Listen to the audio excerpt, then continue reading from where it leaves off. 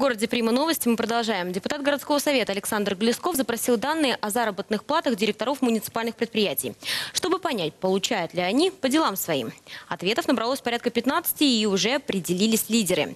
Вот топ-3. На третьем месте глава предприятия ГОР Электротранс. Он заработал 835 тысяч 179 рублей за год, включая премии.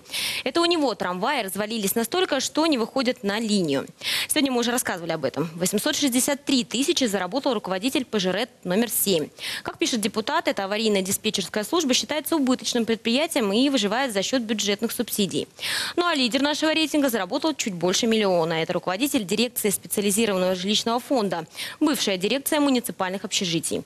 Начальник пол- получил в том числе премию в 385 тысяч рублей, при том, что по информации депутата его хозяйство далеко не образцовое.